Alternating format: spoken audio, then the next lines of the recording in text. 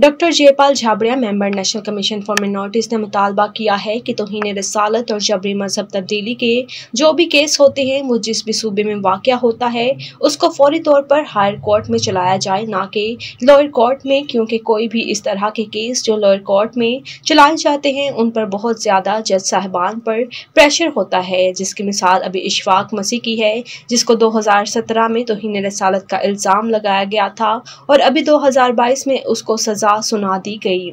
इस तरह इशफाक मसीह को पाँच साल जेल में रहना पड़ा। हम समझते हैं कि जहाँ छोटे शहरों में ये केस चलते हैं, उसमें जजेस को बहुत ज़्यादा प्रेशर होता है, जिसकी वजह से, जिस पर इल्ज़ाम होता है, उसे सही तरीके से इंसाफ नहीं मिल पाता।